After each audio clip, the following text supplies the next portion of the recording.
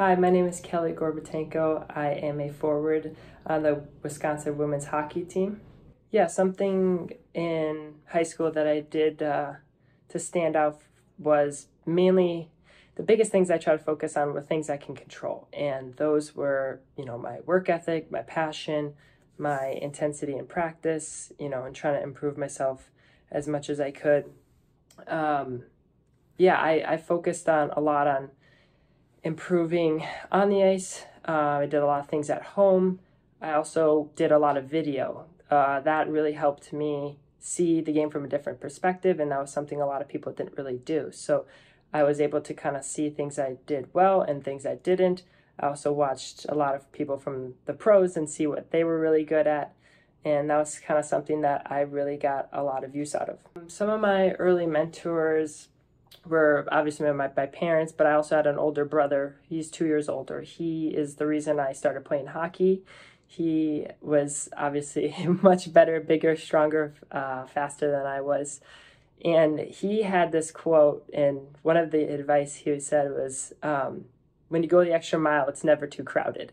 And that was something that I kind of that kind of really stuck with me, and something that became kind of my mantra. And so, I would always put in the extra work where I could because um, I, you know, he he trailblazed a lot for me, and um, you know, if I wanted to be great, I had to do things that others weren't weren't going to do. So that was something that that I used, you know, as motivation, and that I would uh, that I remembered and try to be as consistent as possible. I think the hardest challenge in high school that I faced was not being complacent there were a lot of years where you know I was a top player and there weren't a lot of people pushing me at some practices but you know I went from chasing the pace car to being the pace car and that was something that I had to get comfortable with doing and but I would set what we used to call micro goals and I would so each practice I'd like I want to score 10 goals I want to win every single race I want to try this new move I'm working on and that would help keep me focused and progressing in my skill set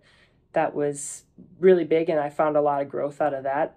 I didn't want to slow down the pace, you know, to my teammates' pace, but raise it so that they would also improve. I think it was my attitude around my teammates was a big one, but also the hard work that I put in. You know, whether we're winning by five or losing, I wouldn't give up and the coaches noticed that. That was one of the things that they said is that it doesn't matter the score. I was consistent throughout the game.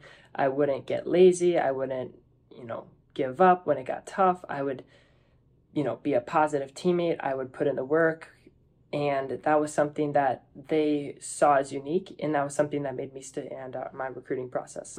What i saw in wisconsin that really fit me was the academics are great here. It was close to home but I knew I was going to be challenged every day because some of the players I'm playing with are competing at the highest level for Team USA, and I knew that they were going to push me, and that was something that was really appealing to me. Um, you know, somebody who may be pursuing, you know, D1 sports and athletics, the biggest thing is you have to be confident. Going into the recruiting process, there's a lot of people that may doubt you, that may not think you're you're good enough, but you have to be confident in yourself and and not believe and not let that doubt seek into your mind.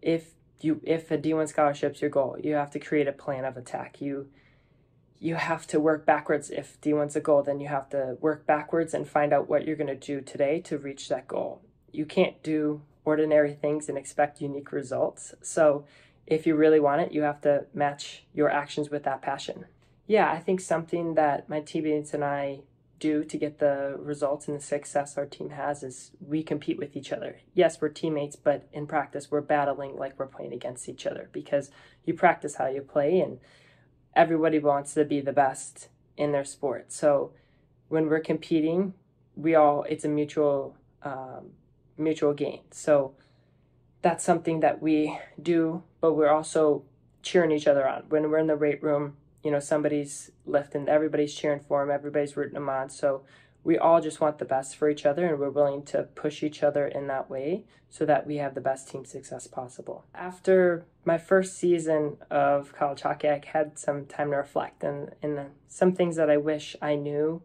back then was that nothing is going to be handed to you. uh, you have to surround yourself with people that are better than you. Senior year, you know, I was at the top of my team and I didn't really have many people pushing me. So I didn't think I had as much growth as I possibly could have. But I had the most growth and I got it so much better when I was around people that were better than I was. And I was able to learn from them and just pick their brain on what helped them become so successful. It's a lot easier to to push yourself when you're chasing somebody versus running alone. So I would wish I knew that, you know, to surround myself with people better than I am and kind of have that humility to realize that I'm not the best, but I want to get better. Coming into a national championship team was it was very motivating because in the summer we would see the national championship poster that was in the hallway. Every time we'd walk to the rink i'd see it. Then there were all these festivities in the off season and the first game they were doing the banner raising. So to not be part of that was was uh, left some hunger in your belly for uh, to get one of your own so that motivated the entire off season but also the support of the people that have won it they knew what it took and each day they would push us because we now have a target on our backs going into the season and everybody wants to, to beat Wisconsin. So it was definitely a challenge. And then playing in the playoffs this year, we had great leadership, uh, people that knew what we needed to do to win, and they really helped lead us in the right direction. And unfortunately, fell one goal short of a national championship, but we have that, all have that experience that we can pass on to the next group. And now we know what we need to do and what we did this year wasn't wasn't good enough. So now it's again more motivation going into the off season. Yeah, the NIL opportunities have been great. They have uh, just started to kind of dip their toe into women's hockey. They're a bit newer, but a lot of people, my teammates have experienced some NIL. I've experienced some other NIL deals as well, and it's just a great opportunity that we've been given. You know, we've worked hard to be as successful as we can, and we've earned the right to be compensated on that part. Um, the only thing I focus on with NIL is to not deter me from my goals.